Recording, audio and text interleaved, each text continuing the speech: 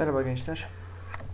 Bu videomuzda size Story Jumper uygulamasında nasıl bir kitapçık oluşturulacak bunun üzerinde konuşacağız. Story Jumper'a e, kendi içerisindeki kütüphanedeki resimleri kullanarak hem de dışarıdan resim ekleyerek bir kitapçık oluşturacağız. Ve bu kitapçığı oluşturduğumuz blogger hesabımızda yayınlayacağız. Şimdi öncelikli olarak Google'da oturum açarak devam ediyoruz. Evet. Hazır olduğu için direkt hesabımız buradan geldi. Şimdi ben Story gidiyorum. Evet. Ana sayfaya geldik. Şimdi burada kitapçığımızı oluşturmaya başlayacağız. Ama kitapçığımızı oluşturmadan önce login diyerek oturum açmamızda fayda var. Evet burada oturum açma sayfası geldi. Biz Google'da daha evvel oturum açmış olduğumuz için buradaki Singin with Google seçeneğiyle devam ediyoruz. Evet, hangi Gmail hesabınız varsa hangisini kullanıyorsanız onunla devam ediyoruz. Bekliyoruz. Evet. Ana sayfamız geldi. Derste de size bahsetmiştim. Biz buradaki seçeneklerden bunlarla ilgilenmiyoruz. Şu an için bize öncelikli olarak lazım olan yeni bir sayfa, yeni bir kitap yaratma seçeneği. Create ebook seçeneğiyle alttan devam ediyoruz. Buraya bakmadan evvel şunu söylemek istiyorum tekrardan. Home e, Library bölümünde Story Jumper ile yapılmış ve burada paylaşılmış yayınları görebiliyorsunuz. Bunları incelemenizde fayda var. Zaman zaman bakın ne yapıyorlar, nasıl bu şekilde e, beğenip izleniyorlar. Görmenizde fayda var. Bakın bir sürü yapılmış. Biz home bölümünde şimdi kendi kitapçığımızı oluşturmaya başlayacağız. Kitapçığı oluşturmaya başlamadan önce ben yaptığım bir hazırlıktan sizlere bahsedeyim. Ben e, İstanbul'daki birkaç tarihi mekanla alakalı yazmış olduğum bir e, metin üzerinden devam edeceğim. Görselleri önceden buldum. Bu tabi hikaye tamamen size kalmış. Görsellere uygun metinlerimi de oluşturdum. Derslerde zaten bunları görmüştünüz. Şimdi bu kitapçığı nasıl yaptığımızı hızlı bir şekilde görmeye çalışacağız. Başlayalım. Evet. Create Evokula başlıyoruz. Blank diyoruz. Evet. Sayfamız kitapçığımızın düzenlenebilir sayfası geldi.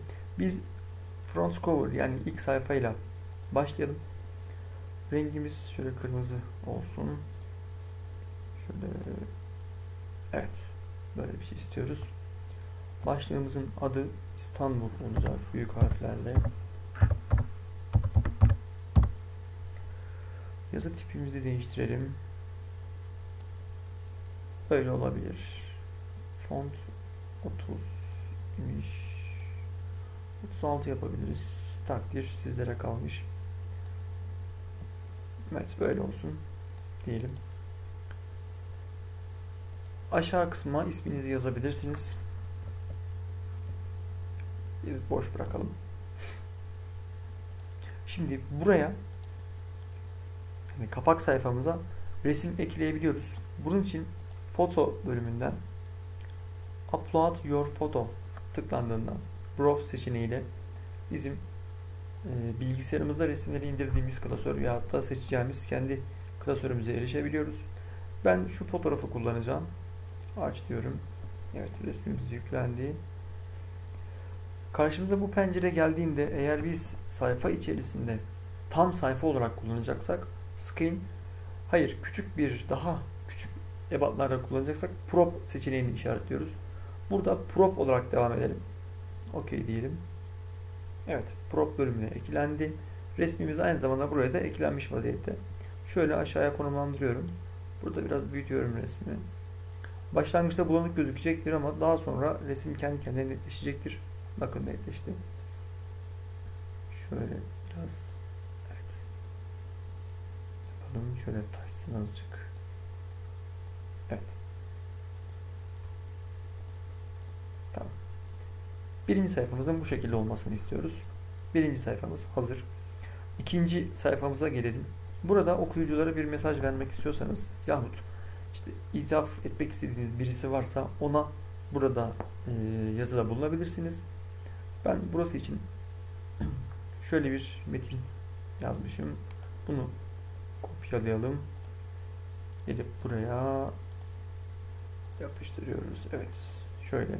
Burada yazımız ortalı olmasını istiyorum. Yazı tipinin de kalam şeklinde olsun diyorum ve bu sayfayı da geçiyorum. Geldim ikinci sayfaya. Şimdi kitabımızı içerik anlamında oluşturmaya başlıyoruz. Burada yine resimleri ve tekst alanını kullanacağız. Biz bakın burada hmm, başlangıçta yandaki sol yandaki menüde Scan bölümü yoktu ama buraya geldiğimizde artık Scan bölümü de aktif hale geldi. Şimdi ekleyeceğimiz resimleri Scan modunda ekleyeceğiz ve tam sayfayı kaplayacak. Scan diyelim. Bakalım burada aradığımız tabii resim tabii ki yok. O zaman foto bölümünden yine upload your photo diyeceğiz, browse diyeceğiz. Bu kez bize Kız Kulesi resmiyle başlayacağız. Scan diyelim. OK diyelim. İnternet hızınıza bağlı olmakla birlikte bu süre değişecektir. Evet resmimiz yüklendi. Şimdi yan tarafa yazımızı yazacağız. Yazımızı yazmak için şuradaki text butonunu kullanıyoruz. Text alanına tıklıyorum ve yazım buraya geliyor. Yazmış olduğumuz metin hmm. Evet şöyle başlayalım olsun. Bir sayfa atlamışız. Çok da önemli değil şu an için. Buraya gelelim. Yazımızı yapıştıralım. Evet. Şöyle. Böyle kalabilir ama yazı tipi olarak ben yine kalam seçmeyi düşünüyorum. 30 diyelim. Yazımızı ortalayalım. Evet, bu şekilde yazımızı yazdık. Şimdi baktığınızda sayfada yazı öylece duruyor. Burada bir border eklemeye çalışalım. Şimdi border için scan bölümüne geldiğinizde buradaki resimleri direkt buraya atabiliyorsunuz. Bunu söylemiştik. Buraya border İngilizce olarak yazdığınızda bakın karşınıza şu çerçeveler çıkıyor. Sadece bunları kullanmak zorunda değilsiniz. Google görsellerden bulduğunuz resimleri de kullanabilirsiniz ama biraz kolay olsun diye bunu seçeceğiz. Evet bakın buraya eklendi. Kapatıyorum. Ve bunu seçiyorum. Tabi seçmekte hata ediyorum. Buraya giriyoruz. Buraya bu gelecek. Evet. Bu şekilde bu sayfamız tamam. Gelelim diğer sayfamıza. Burada tek düz halde gidelim.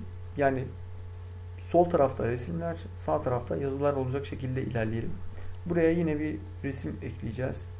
Az önce ıskaladığımız resmi buraya ekleyelim. Sky'in bölümüne bakıyoruz. Resmimiz yok. Öyleyse yine foto bölümünden upload your diyorum. Browse diyorum. Bunu seçip kez scan olarak eklemek istiyorum bu resmi. Evet bu kez scan olarak ekleyeceğiz. OK diyorum. Tamam. Scan bölümünde resmimiz geldi. Tamam. Geldik yine buraya. Buraya border'ımızı ekliyorum. Text alanından metnimizi oluşturuyorum. Şurada es geçmiş olduğumuz yazımızı kopyalayıp direkt buraya yapıştırıyorum. Yine standardı koruması açısından kalan yazı fontunda 30 diyorum ama biraz büyük gelecek galiba bakalım. Evet şöyle kurtardı. Evet. Böyle olsun diyelim. Şuradan biraz yukarı kaldıralım. Evet bu sayfa da tamam. Geçiyorum diğer sayfaya. Yine resim ve yazı şeklinde devam edeceğiz. Şimdi bu kez hangi e, resmi koyacağız ona bir bakalım. Silüet koyduk, kız koyduk. Şimdi Ayasofya gelecekmiş. Evet. Yine foto bölümünden upload diyor. Foto browse diyorum. Ayasofya'yı seçiyorum. OK diyorum. Scaling tekniğinin gelmesini bekliyorum. OK diyorum. Evet. Geldi. Border. Metnimizi alalım.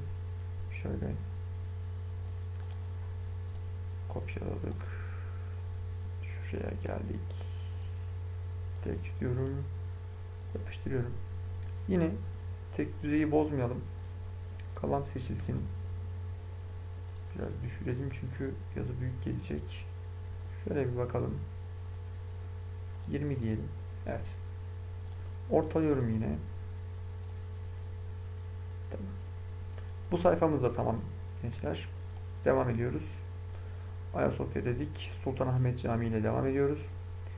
Şimdi yine foto bölümünden upload your photo, browse Sultanahmet Camii. Evet buradan gel bakalım.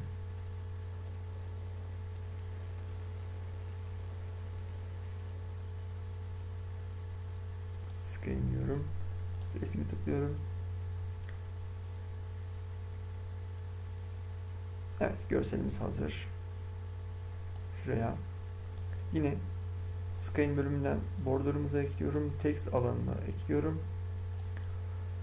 Sultanahmet Camii demişiz. Şöyle yazısını seçelim. Kopyalayalım. Tabii şunu unutmamak gerekiyor. Burada e, nasıl yapıldığıyla üzerinde daha çok duruyoruz. Yoksa hikayeyi bu şekilde yazmak değil. Çünkü canınızın istediği yerde metninizi oluşturup görsellerinizi hazırlayıp buraya aktarabilirsiniz ya da direkt burada oluşturmaya başlayabilirsiniz. Ama burada kolaylık olsun biraz süreden kazanalım diye bu şekilde davranıyoruz. Evet. Bu sayfamız da tamam. Gelelim 10. sayfaya. Orada kim varmış? Fatih Külliyesi. Devam ediyoruz. Text demişiz. Yine foto diyoruz. Upload diyoruz. Browse diyoruz. Fatih Külliyesi burada. Gel bakalım. Evet, scan diyoruz. OK diyoruz. Resmimiz geldi. Evet. Text. Bu alana geldik. Yazımız buraya gelecek. Yazımızı ekleyelim. Kopyalıyorum. Buraya yapıştırıyorum. Yine standardı koruması açısından 20 diyoruz ve 24'ü arttırıyoruz. 30 desek yetecek midir? Bakalım yetecek midir? Şöyle yetmeyecek. Öyleyse 24'te kalmalı. Biraz aşağıya indirelim. Evet bir de bunun etrafına border koyalım. Tamam. Ve geldik son sayfamıza. Son sayfamız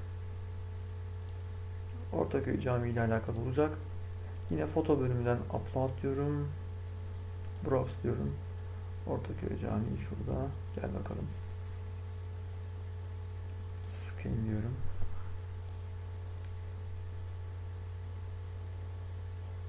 Evet. Border'ımıza ekleyelim. Text alanımızı oluşturalım. Metnimizi kopyalayıp şuradan kopyala.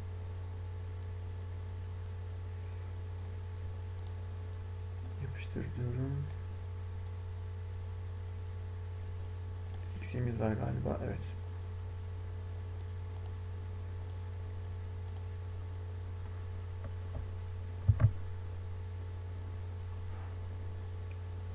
Yine kalan diyorum.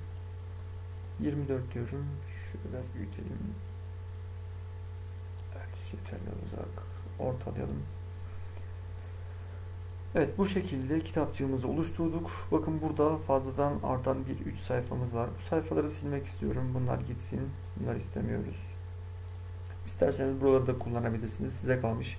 Sayfa sayısını arttırmak yahut çıkartmak veya aynı sayfayı kopyalamak burada sizin elinizde. Biz çıkaralım şöyle. Zaten biz bunları çıkarmış olsak da e, birazdan kaydettiğimizde son tahlilde göreceksiniz. E, oraya kendisi yine sayfa eklemiş olacak. Evet kitapçığımız tamamlandı. Yazılarımız tamam. Resimlerimiz tamam. Bu bizim e, tasarruf, tasarrufumuzda olan bir husus. Şimdi save and exit diyoruz. Evet. Kitapçığımız hazır. Şöyle inceleyebilirsiniz. Bakın. Bu şekilde.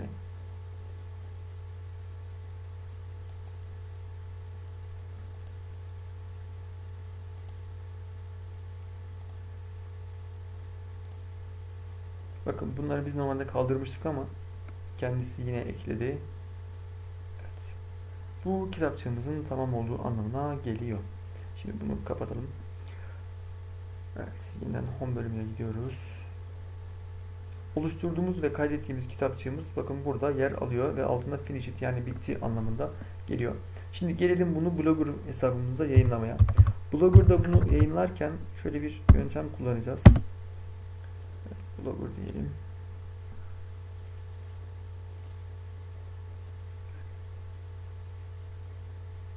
Şu önceden yapmış olduğum çalışmaları kaldırmam iyi, iyi olacak. Evet. Şimdi arkadaşlar malumunuz e, Blogger'da yayın yaparken yeni yayın deyip oluştur bölümünde yaptığımız düzenlemeler, yazdığımız yazılar, resimler, paylaştığımız videolar bu şekilde bu pencerede oluşturuluyordu. Bu kez farklı bir yöntem kullanacağız. Blog sayfamıza kod gömerek o içeriği çağıracağız. Burada bakın şöyle tıklayalım. Evet. Bu sayfayı görüyoruz. Şimdi burada edit deyip sayfamızı, kitapçığımızı yeniden düzenleyebiliriz. Buy deyip çeşitli alma yöntemlerinden kitapçığı alabiliriz. Print, siyah beyaz yazdırma, share paylaşmaya geliyor. Biz share butonunu kullanacağız. Share'a tıklıyorum. Burada bunu e, Story Jumper'da paylaşabilirsiniz. Arkadaşlarınızla paylaşabilirsiniz. Embed on your site sitenize gömebilirsiniz. Biz bu kez sitemize gömmek ile başlayacağız. Şuraya bir kez tıkladığınızda buradaki tüm alan seçili hale gelecektir. Burayı kendiniz seçmeye kalkmayın. Bir kez tıklamanız bakın onun tamamının seçili olduğu hale gelecektir. Sadece bu kadar değil oldukça uzun bir e, karakterler dizisi var burada. Sağ tıklıyorum ve kopyala diyorum. Blog sayfama giriyorum. Şimdi bakın bizim yeni yayını oluşturma alanımız burasıydı. Burada hem oluştur hem de HTML diye iki buton var. Bu kez biz HTML'ye tıklayacağız. Öncelikle yayın başlığımızı oluşturalım. Buraya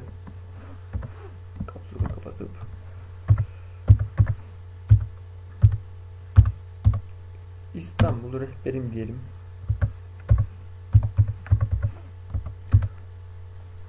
Her ne kadar basit bir şey olsa da. Evet. Başlığımızı oluşturduk. Bu alana geliyorum. Sağ tıklayıp yapıştır diyorum. Bakın burada görmüş olduğunuz e, kod bloğunu şuradan aldık. Bunu buraya yazdığınızda bu şekilde herhangi bir e, hata uyarı çıkmadığında bir sıkıntı yok demektir. Şimdi kaydet diyelim. Kaydedilsin. Yayınla diyoruz. Evet burada isterseniz paylaşabilirsiniz ama ben bunu iptal diyorum. Evet buraya eklendi. Şimdi bloğumuzu görüntüleyelim. Evet. Bloğumuzda ilk eklediğimiz şu anki bloğumuz koymuş olduğumuz kitapçığımız oldu. Devam ediyorum. Bakın yüklenme işlemi bitsin. Bakın resmin üzerine tıkladığımda hiç Blogger'dan ayrılmadan yapmış olduğumuz kitapçığı direkt buradan bir görsel gibi açılan pencerede görebileceğiz. Bakın kitapçığınız burada. Story Jumper sayfasında olduğu gibi çalışmaya devam ediyor. İşte bu o eklediğimiz kodlar sayesinde burada bu şekilde çalışıyor. Eğer oradaki kodlarda herhangi bir silme yahut hata meydana gelirse sayfanız burada düzgün çalışmayacaktır. O yüzden dikkatli olmanızda fayda var. Evet son haliyle geldi. Kapatıyoruz. Şimdi bu bizim yaptığımız kitapçığı blogumuza ekledik. Ve son olarak da ne yapıyorsunuz? Tabii ki blog adresinizi yaptıktan sonraki blog adresinizi bana mail atmayı unutmuyorsunuz. Evet. Şöyle hızlı bir şekilde tekrar edersek Story Jumper'da Create Ebook bölümünü kullanarak bir kitapçık meydana getirdik. Oluşturduğumuz kitapçıkta